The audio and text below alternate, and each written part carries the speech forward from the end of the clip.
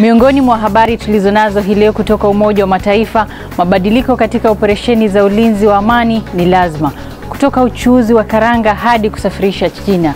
Kulikoni? Na mashinani leo tunamulika ukuaji wa Kiswahili nchini Kenya. Karibu.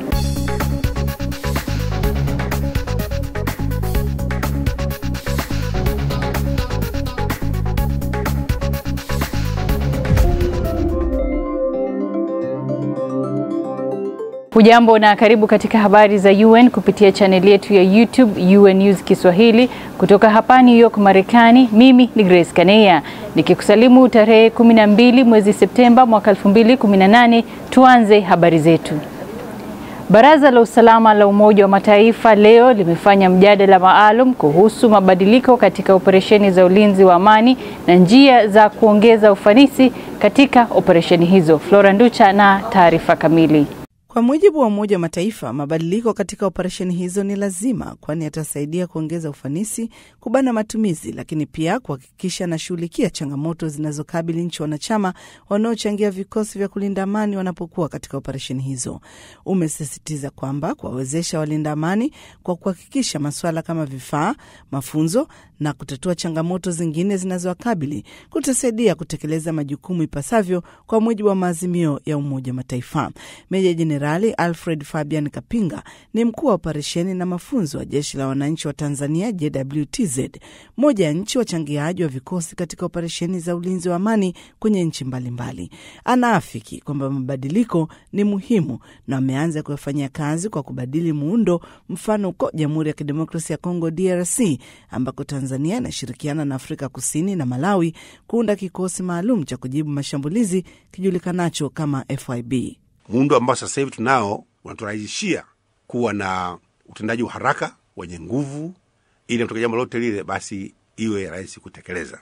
Lakini kubwa la msingi, lazima tutekeleze madhumuni makubwa ya Umoja wa Mataifa. Moja, kulinda raia na kuhusu changamoto ikiwemo kupoteza walinda amani katika operesheni kama ilivyotokea Watanzania huko Semuliki, mashariki mwa DRC, amesema kwanza, tunashukuru Umoja wa Mataifa umekuwa makini sana sasa hivi. Baada ya tukio lile pale, tulipeleka sauti zetu na ulikuwa makini kusikiliza, na hatua zimechukuliwa za kutosha kuhakikisha kwamba makosa yaliyotokea kipindi kile hayajirudi tena.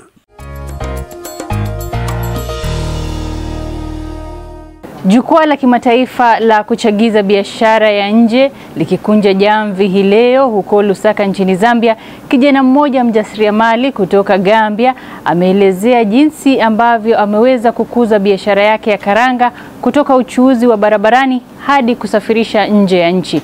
Taarifa zaidi anayo Siraj Kaliango. Mama Tal mwasisi wa kampuni ya Trobingo fudu ya kuuza karanga na maembe yaliyokausha amemwelezea Stelavuzo wa Umoja wa Mataifa anayehudhuria jukwaa hilo kuwa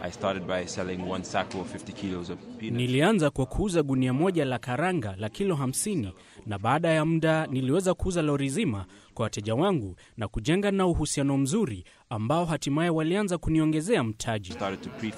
Hata hivyo, amesema baada ya kupata mafunzo ya kujiamini na uendeshaji wa biashara aliweza kufungua kampuni yenye wafanyakazi 280 ambapo asilimia 90 ni wanawake na kuanza kununua kwa kiasi kikubwa karanga kutoka kwa wakulima na ambazo soko kubwa ni China.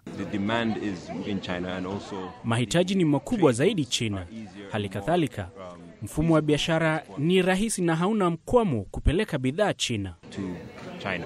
Alipouliza kuhusu mtaji ilipata wapi, Moma amesema baada ya miaka michache niliarifu kuwa nataka kuingia kwenye biashara ya nje na kwa kutumia akiba yangu kuanza kuuza kontena za karanga.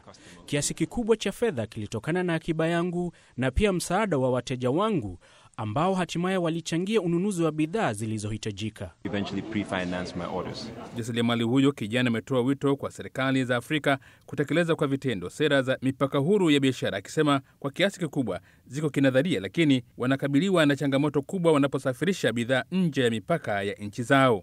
Punde ni mashinani na leo tunakutana na mwandishi wa riwaya na hadithi fupifupi fupi, akizungumzia namna kitabu chake kilichangia katika kukuza Kiswahili. Usibanduke.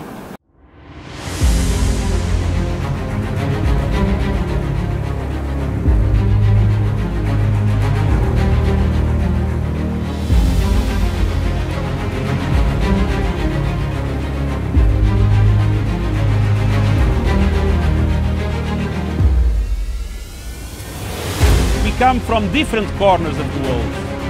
At times, there are competing interests among us. At others, there is even open conflict. And that is exactly why we need the United Nations.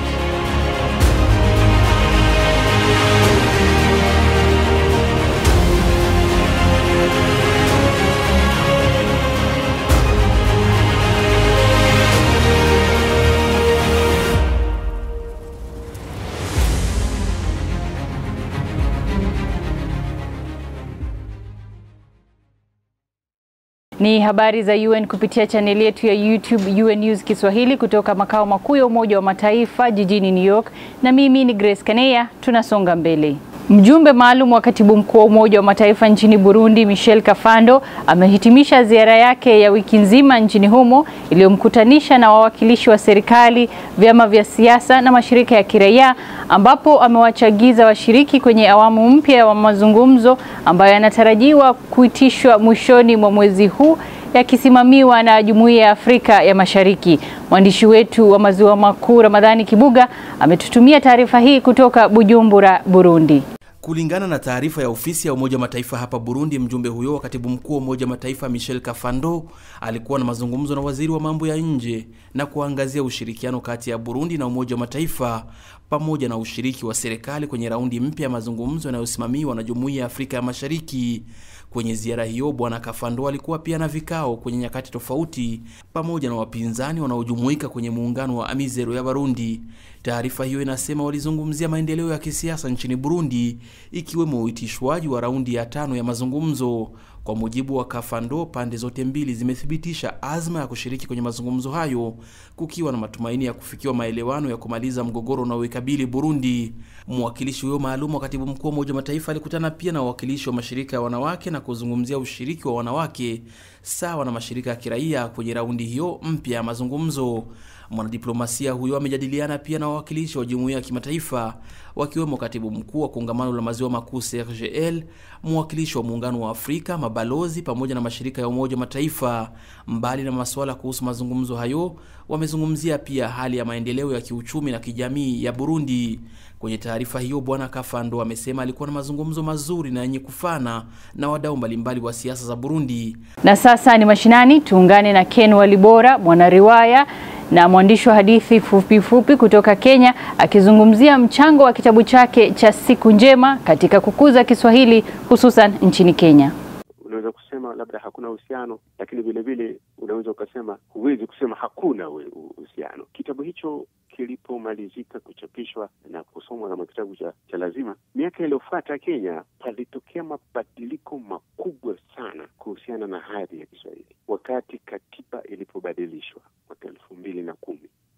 Wakenya kwa kauli moja walipitisha kwamba Kiswahili kiwe ni lugha rasmi na lugha ya taifa, yaani mambo mawili hayo, yani lugha rasmi sambamba na Kiingereza na lugha ya taifa. Kiingereza si lugha ya taifa. Kwa hiyo hali hii ambayo Kiswahili kilipata, unaona ni kwamba wengi waliopiga kura hizo mm -hmm. ni watu waliosoma kitabu hiki na wakaona mielekeo ya hasa mhusika mkuu Kongowea. mm -hmm. Kongowea tu hapana, Kongowea Mswahili Ndiyo. lakini walimwita Kongowea Mswahili Mswahili kutokana na alivyokitazama Kiswahili na kukienzi kama anavyosema mwenyewe kama mboni ya Mm. jicho. Naam, kwa maoni hayo kutoka mashinani, ndivyo nahitimisha habari za UN hii leo kutoka hapa makao makuu ya Umoja wa Mataifa New York. Tukutane tena kesho kwa habari zingine. Pia waweza kutembelea wavuti wetu news.un.org mkwaju sw kwa taarifa zingine mbalimbali mbali, na pia subscribe kwenye UN News YouTube channel yetu. Mimi ni Grace Kaneya, kwa heri kutoka New York.